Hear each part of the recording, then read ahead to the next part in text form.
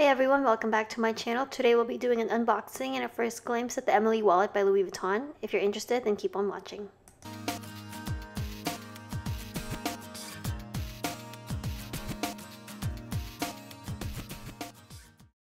Out of the bag, it comes with the iconic orange box and the blue ribbon.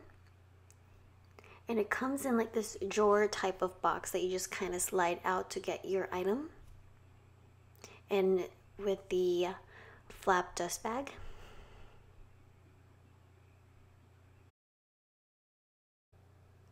And as you can see, this one is in Damier Ebene with a rouge interior and has the rouge um, button. It doesn't have any flap in the back.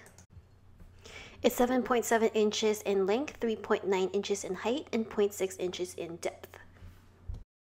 So it comes with a press stud closing. As you can see, it has that beautiful rouge interior.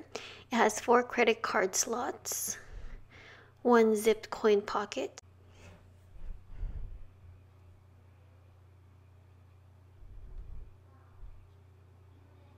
It has one large compartment and two inside flat pockets.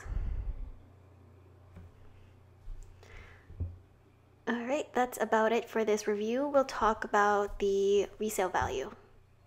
So this wallet also comes in other canvas prints like the monogram and the Damier Azur with the other interiors, the rose ballerine and it also comes in the empreinte leather. For it currently retails for 525 US dollars. And can resale from down to 375 to up to 520 dollars?